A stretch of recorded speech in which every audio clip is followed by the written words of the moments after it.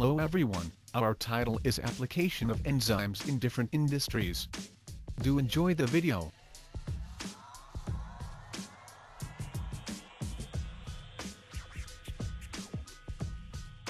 Certain enzymes, protease, amylase, lipase, cellulase, mannanase, and pectinase, have been used as catalysts in detergents since the 1960s to efficiently remove certain stains. Enzymes have allowed detergents to work better at removing stains in smaller volumes, compaction, and at lower wash temperatures. First cellulase has enhanced softening effect on fabric due to the removal of the microfibrils as well as color brightening effect. It can also be used to remove particulate soil. While protease is basically used to remove protein stains such as grass, blood, egg and human sweat. For food-based stains, amylase is used to catalyze the hydrolysis of the amylose fractions in starch.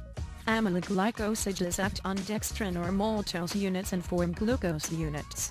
Some rigid oil stain can be removed by using lipase which hydrolyze hydrophobic fat components into the more soluble products such glycerol. There are several stages in the paper processing. Firstly, starch conversion is done in order for the surface coatings of the paper. The enzyme used in this stage is amylase. Amylases are used to cleave starch molecules to reduce the viscosity. Besides that, they are also used for surface sizing and for starch and coatings as well as not used for dry strength agent additive. Next stage in the paper processing is bleaching. The enzyme used in this stage is hemicellulases or also known as xylanases. They are used to cleave hemicelluloses and fiber, making the bleaching process more effective and improve brightness. It may be able to reduce bleaching chemicals by up to 30%. The stage continued in the paper processing is pitch treatment. Lipases is the enzyme used in this stage. Lipases is used to control pitch and pulping processes and to convert triglycerides to fatty acids which are more stable in water so that it won't be deposited. Lastly the inking stage of paper processing is done. Paper recycling inks and stickies attached to fibers at the surface of the fibers, stuck to microfibrils.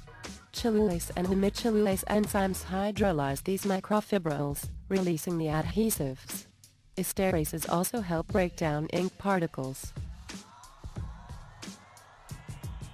There are eight stages in rubber processing. Harvesting latex from rubber tree is the first stage.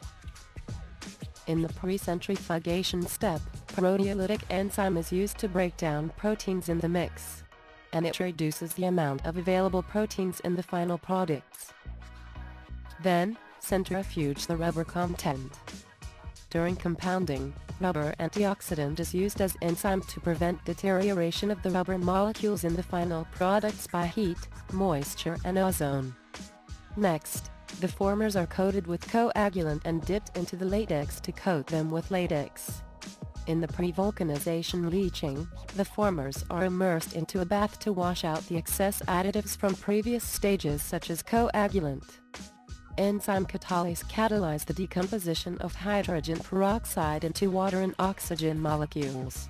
It is used to form oxygen which will convert latex to form rubber. Lastly, stripping step involves the removal of rubber from formers. In leather industry, there are several leather processing stages. The processing stages include curing, soaking, dehairing, bating, degreasing, tanning and waste processing. Every stages has their own important role in industry. Firstly, in the curing stage, although enzyme are not directly involved, it is used to preserve hides and skins. Next, alkaline and pancreatic proteases are involved in the soaking stage to remove non-fibrillar proteins. Once cured, the skins are then soaked in water for several hours to several days. The water and surfactants help in the removal of salt, dirt, debris, blood and excess animal fats. Rehydration is also reintroduced. Moved to the next stage, alkaline and neutral proteases are involved to improve the wastewater quality. After that, trypsin and alkaline proteases invading to complete the deliming process, by eliminating residues of other substances and loosen the fibers of the skin in order to smooth the grain and achieve a soft and flexible leather. Then in the degreasing stage, lipases and protease are used. ID is carried out to remove and to reduce the natural fatty acids from the skin, which could lead to difficulties in the absorption of chemicals. The degreasing process removes excess fat and distributes it evenly. Although in the stage of tanning enzyme are not directly involved, it make leather more durable and less susceptible to decomposition. Lastly, for the waste processing, trypsin and proteolytic enzymes are involved. Chrome waste from leather processing poses a significant disposal problem and it occurs in three forms, liquid waste, solid and waste and sludge. When the process of balancing chrome in leather processing carry out it maximizing the chrome uptake in the tanning process and minimizing the amount of liquid or solid chrome wastes.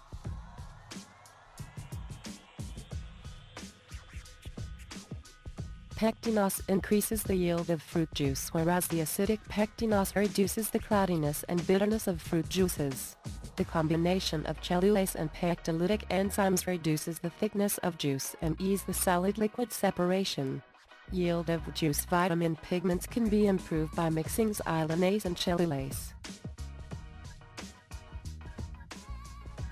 In winemaking industry enzymes that are more commonly used involve pectinase which is used to enhance the natural enzymatic activities and to quickly reduce the mash viscosity. Apart from that, the enzyme carbohydrase is used to reduce the grape juice viscosity and to reduce fouling of ultrafilter membranes. Besides carbohydrase, the enzyme oxidase is used to enhance the fining treatments. Finally the enzyme Glucose oxidase is used to lower the glucose levels. In beer-making industry enzymes that are involved include protease which is used for the conversion of grain proteins to increase free amino nitrogen and to chill-proof finished beer. Besides protease, the enzyme cellulase is used to increase the yield of fermentable sugars and to reduce mash viscosity. The enzyme amylase in the other hand is used to increase the fermentability of the high adjunct mashes and to reduce the residual dextrins in the production of low carbohydrate beer. Protease is used to weaken gluten and this enzyme is for crackers and crisp bread dough. Alpha amylase helps to prolong the freshness of bread. Glucose oxidase is used in bread improving. It acts as alternative to chemical oxidizing agents and emulsifiers in bread dough. Besides that, xylanase is used in dough conditioning. It replaces emulsifiers in bread. Lastly, lipase is used for stalling bread. It is used in yeast-raised baked goods. Acid proteinase involves in milk coagulation. Protease is used to enhance the flavor intensity. Lipase is used to impart a creamy texture and full, rich flavor. On the other side, rennet is the responsible agent in clotting milk for production of cheese. Apart from other uses, enzyme is also used in medicine industries widely. Asparaginase is an anti-cancer which is known as anti-neoplastic cytotoxic chemotherapy drug. This drug is used for all acute lymphocytic leukemia by starving tumor cells of needed nutrients and slowing growth of tumor cell. Name for this drug are L-asparaginase or Erwinia L-asparaginase and one of the common product in the market is Elspar. Next, collagenase is also one of the enzyme used in medicine industry. It functioned to degrade collagen and used to help the healing of burns and skin ulcers. Collagenase works by helping to break up and remove dead skin and tissue. This effect may also help antibiotics to work better and speed up body's natural healing process. Collagenase ointment is the name of the drug and Santyl. Collagenase Santyl is available in the market. Glutaminase is also one of the widely used enzyme in medicine industries. It convert glutamine and water into glutamate and ammonia glutaminase, L-glutaminase and glutamine aminohydrolase are some of the drug used. Eglutech is the trade name for this drug. Hyaluronidase is a family of enzymes that degrade hyaluronic acid. It functions by catalyzing the hydrolysis of hyaluronan, which is a constituent of the extracellular matrix. Hyaluronidase lowers the viscosity of hyaluronan, thereby increasing tissue permeability. Hyaluronidase increase the body absorb of other medications. It works by causing rapid spreading of injected fluid into the body, which increases the absorption of injected fluids. It degrades hyaluronic acid. Amphotericin and Vitrase are the example of the drug.